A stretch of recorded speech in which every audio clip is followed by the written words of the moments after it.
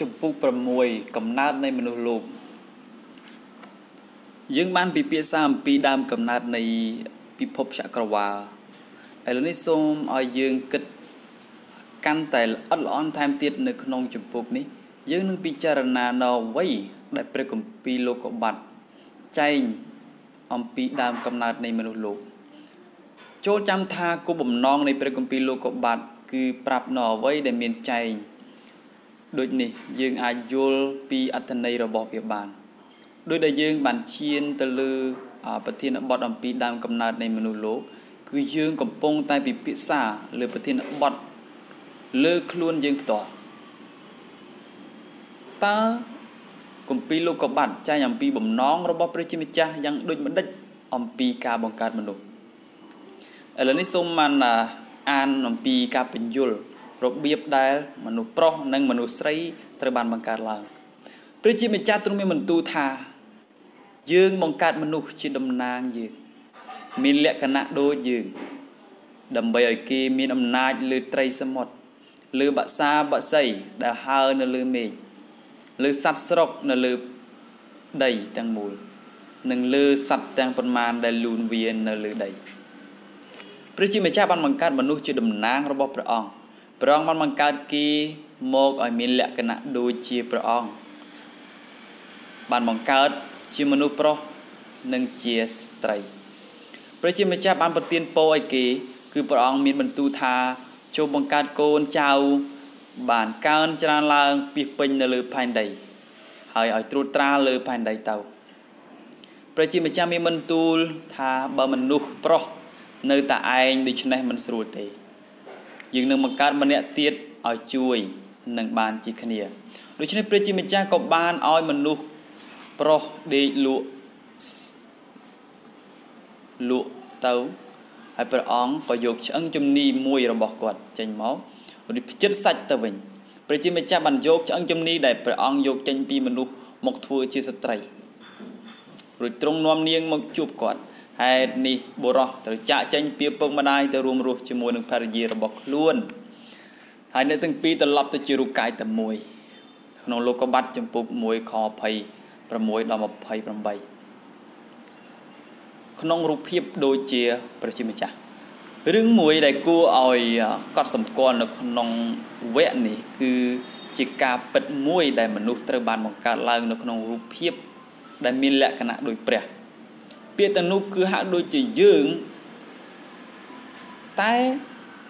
តើវាពិតជាមានន័យដូចម្ដេចដោយព្រះមានសន្តានជាវិញ្ញាណទ្រង់មិនមានរូបកាយដូច្នេះពាក្យទាំងនេះមិនសំអាងលើលក្ខណៈរបស់យើងទេអ្វីដែលវាយល់ទៅលើនោះគឺគំនិតយើងមានជាវិញ្ញាណនោះហើយដែលយើងមានលក្ខណៈដូចជាព្រះ នៅក្នុងលោកកបាទចំពុក3យើងឃើញភាពដូចគ្នា ទៅនឹងព្រះកាត់ផ្ដាច់ដោយសារអំពើបាបដែលអាដាមនិងអេវ៉ាបានធ្វើតាំងពីពេលនោះមកមានបញ្ហាចម្បងដែលតាក់ទងទៅនឹងព្រះគម្ពីរគឺការបង្កើតឡើងវិញនៅលក្ខណៈរបស់ព្រះនៅក្នុងមនុស្សក្នុងគម្ពីរលោកកបាត់ជំពូក1និង2 បានបង្ហាញប្រាប់យើងអំពីមនុស្សដែលត្រូវបានបង្កើតនិងតម្រូវឲ្យឲ្យដូចគ្នាបុរសនិងស្ត្រីការសង្កេតមួយផ្សេងទៀតអំពីការបង្កើតមនុស្សគឺទ្រង់បង្កើតគេជាបុរសនិងជាស្ត្រីនេះគឺជាឧទាហរណ៍ដំបូងនៃការវះកាត់ដោយប្រើថ្នាំស្ពឹកអ្នកដាក់ថ្នាំស្ពឹកនោះគឺព្រះ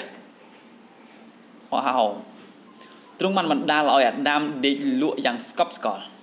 បន្ទាប់មកទ្រង់ដកយកឆ្អឹងជំនីរបស់គាត់ហើយទ្រង់បានបង្កើតមនុស្សស្រីពីឆ្អឹងជំនីនោះ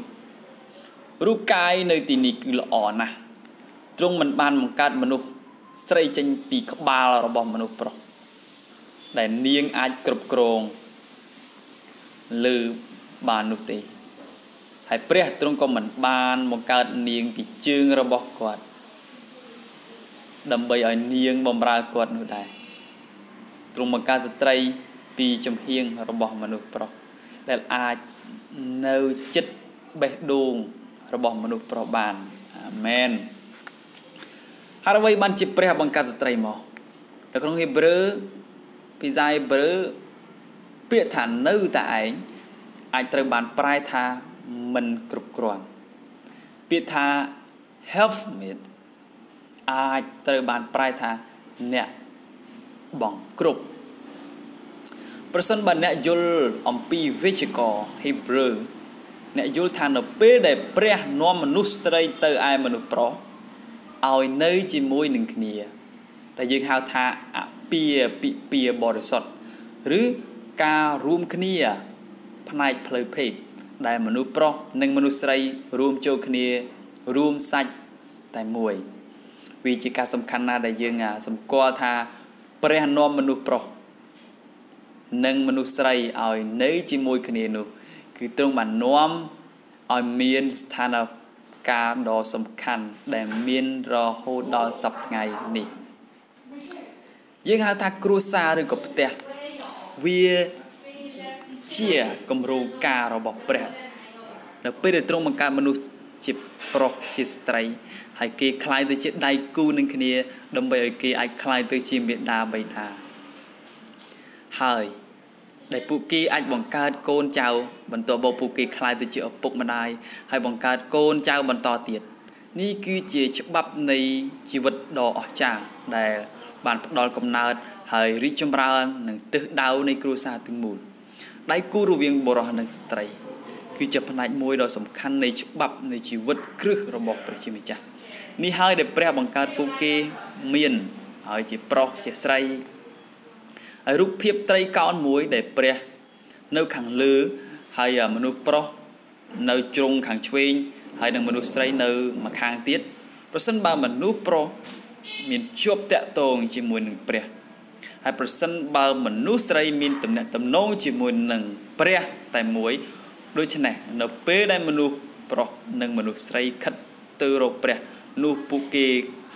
ក៏កំពុងតែខិតទៅរកគ្នាដែរដោយដែលអ្នកសិក្សាអំពីការរៀបការនៅក្នុងគម្ពីរលោកុបាតអ្នកនឹងឃើញថាវាជាតំណាក់តំណងទាំងស្រុងរវាងវិញ្ញាណពីរចំពោះមូលហេតុនៃអភិវិពាមនុស្សប្រុសត្រូវចុះចេញពីឪពុកម្ដាយ គាត់ត្រូវចេញពីគ្រួសារដែលគាត់ធ្លាប់រស់នៅរយៈពេល20ឬក៏25ឆ្នាំហើយដោយសារពីពិពាមនុស្សប្រុសនឹងត្រូវបោះបង់ចោលអ្នកដទៃដែរហើយគាត់ត្រូវទៅរស់នៅជាមួយប្រពន្ធរបស់គាត់អស់មួយជីវិត មនុស្សស្រីក៏ត្រូវធ្វើអញ្ចឹងដែរចំពោះប្តីរបស់គាត់